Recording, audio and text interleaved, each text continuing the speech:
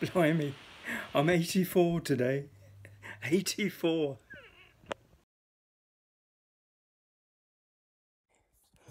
I'd like to share my birthday thoughts in the style of the great East London master of the monologue, Stanley Holloway.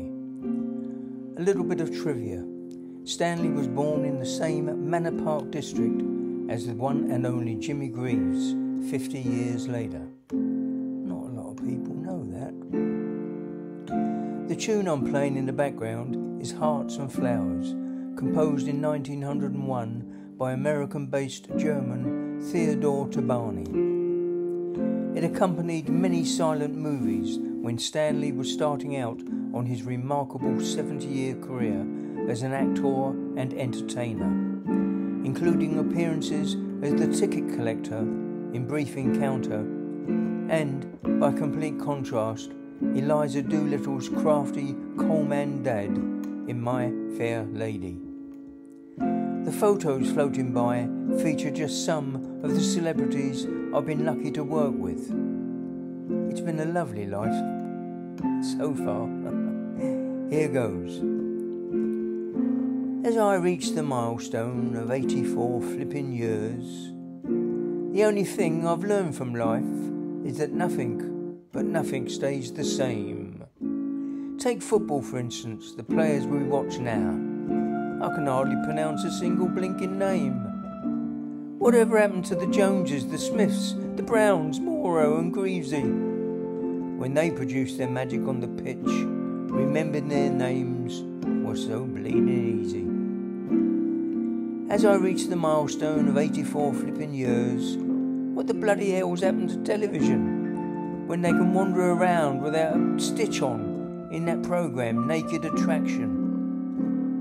Blimey, even the Rolling Stones had the decency to keep their clobber on when recording I Can't Get No Satisfaction. As I reach the milestone of 84 flipping years, I can remember long ago when a pint of beer set you back all of a shilling. Now you need to take your mortgage out. That's if to buy a drink you're willing. And if you're generous or mad enough to include your mates in a round, blimey, you'll be lucky to get a penny back from 20 bleeding pound. As I reach the milestone of 84 flipping years, how about bleeding politics? That's gone completely balmy with the world looking on helplessly at Putin's invading army. There's that mad Lizzie completely trussing us up, and Boris having parties when he was a Downing Street resident. While Trump and Biden are fighting it out on Zimmer frames to be the next United States president.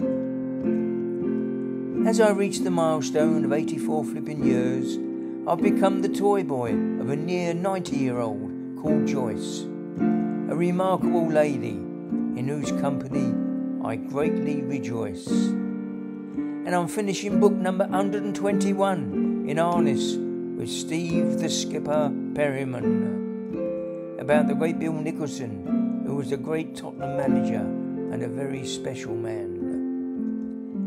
That's it, I guess, as I celebrate grandkids and great grandkids galore. I could not really ask for anything more. As I reach the milestone of 80 flipping four, I ask you, 80 flipping four. My next birthday post will be when I'm 85. That, my friends, is if I'm still alive. Be lucky. Hope you have as happy a life as I'm having. As Jim used to say, it's a funny old game.